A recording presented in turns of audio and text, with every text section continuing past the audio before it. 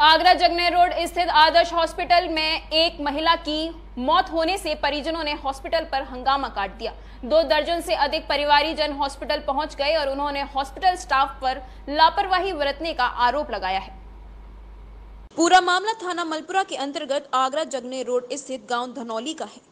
धनौली के नई आबादी निवासी राम बाबू सन ऑफ़ रामजी लाल ने अपनी पत्नी मंजू देवी उम्र करीब 35 वर्ष को बुखार आने पर 26 तारीख की सुबह करीब साढ़े नौ बजे आदर्श हॉस्पिटल में इलाज के लिए भर्ती कराया। हॉस्पिटल के चिकित्सकों द्वारा मंजू देवी को इलाज किया जा रहा था।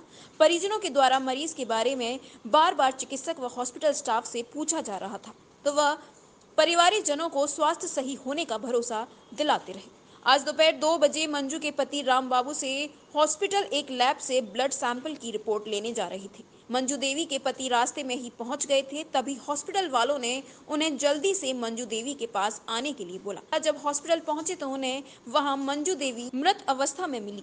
परिजनों द्वारा जब हॉस्पिटल व चिकित्सकों से इस मामले में जाँच पड़ताल और पूछताछ की गई, सभी चिकित्सक और हॉस्पिटल प्रशासन वहाँ से फरार हो गए।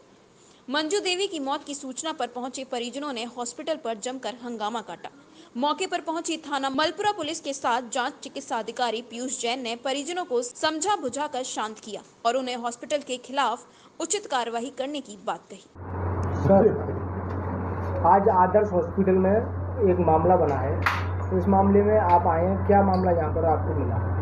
यहाँ पर हमको सूचना मिली थी कि आदर्श हॉस्पिटल जो जगने रोड पर स्थित है, यहाँ पर किसी महिला की गलत इंजेक्शन देने से डेथ हो गई है। ऐसी सूचना प्राप्त होने पर हम लोग यहाँ अपनी टीम के साथ आए थे अपने उच्च अधिकारियों के निर्देश पर।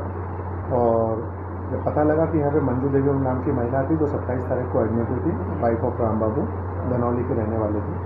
और आज दोपहर में उनकी यहाँ पर डेथ हो गई है। और जब वो भर्ती हुई थी तो उनमें खून की, बहुत कम मात्रा थी तीन हीमोग्लोबिन था।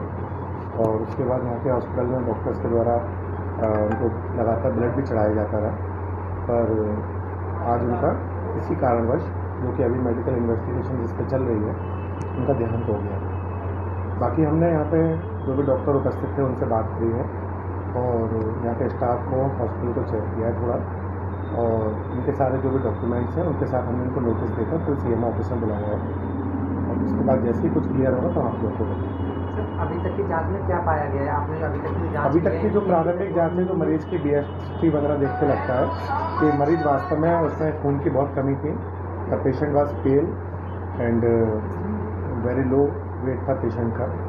तो पर अभी इतना ही कह सकते हैं। सर नियमित रूप से अभी जो अभी जो आपने जाँच की उनके दस्तावेज़ देखने के बाद नियमित रूप से संचालित है ये अस्पताल? हाँ इनके दस्तावेज़ अभी सारे थे दस्तावेज़ में पंजीकृत हॉस्पिटल ब्लड कितना जब भर्ती होती तब तीन था। और ब्लड कितना आए इन्होंने?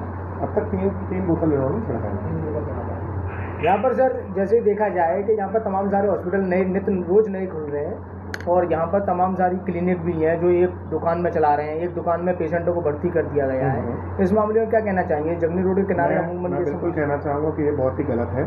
और मैं इन सब लोगों को एक चेतावनी और एक वो भी देना चाहता हूँ कि ऐसा ना करें क्योंकि तो किसी की जान से ज़्यादा ऊपर कोई भी पेशा नहीं होता। पैसा कमाने का कोई ध्येय नहीं होना चाहिए। मरीज़ की जान किसी के परिवार के लोगों की जान बहुत इंपॉर्टेंट है।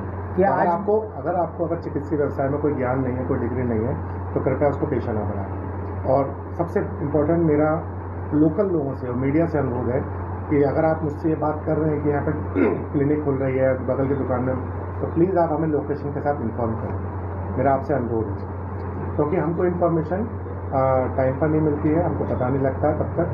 किसी न किसी परिवार का नुकसान हो जाता है। आपका शुभ नाम क्या रहा? Doctor Piyush doctor Piyush Garg Jain ji. Jain ji. Pratah Darpan news के लिए मलपुरा से शेखर पंडित की रिपोर्ट।